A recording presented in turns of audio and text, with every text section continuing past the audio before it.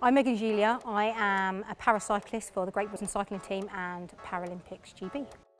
I became a para-athlete after suffering a stroke, um, brain hemorrhage, it's also known as a blip to me, in January 2013.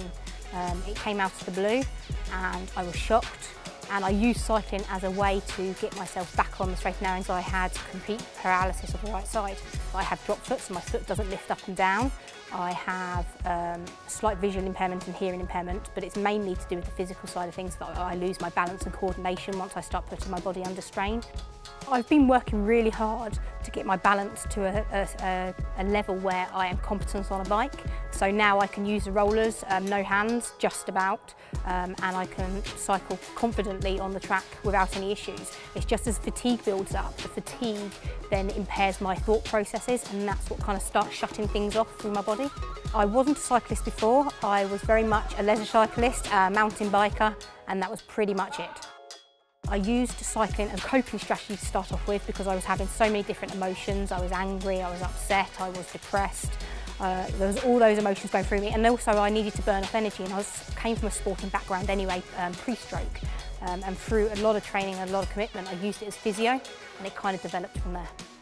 So I think there's so many people out there that dwell on what they can't do rather than think about what they could achieve if they try. And I, I, think everyone has a gift and it's a matter of trying things out, even if it scares them, because you know I get on the track every day not knowing if I'm going to come off the bike. And there's always that possibility. I broke my back um, about a year after my stroke. I broke my back in three places. And I got back on the bike three months later and achieved a silver at international level. And it was, you know, fantastic. And for me, it's all about doing it for everyone else that can't do it as well.